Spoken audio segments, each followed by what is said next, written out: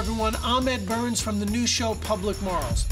The show takes a look at two families the Muldoon family and that, that extended clan of Irish Catholic working class cops. And then there's the other family, Patton and his family, and the family of gangsters. One family went to the cops, and the others went through a life of crime. The Public Morals Division is the group that dealt with all these guys. After I wrote the pilot, for me to sit down and write nine more scripts was like a dream come true. I thought, well, I'll direct half of them and we'll bring some other filmmakers in to direct some of the other episodes. But the minute I started to think about the fact that I would be surrendering some of these scenes to another director and let them get to have the good time that I wanted, I was just unwilling to sort of hand it off.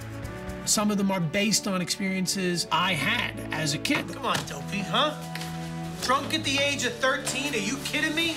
It was almost kind of a relief when I found out that he was going to direct the entire season. I didn't see it happening any other way. He allowed us as actors to feel very free to become these characters. And we just pan slowly over to the two of them sitting there, and that's the only shot we need.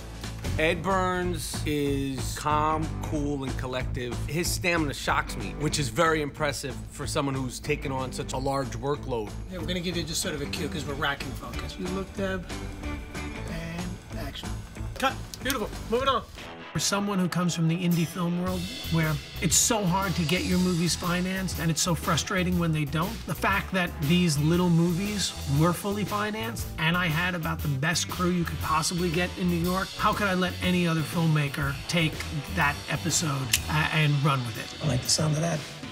Public Morals, series premiere Tuesday, August 25th at 10 on TNT.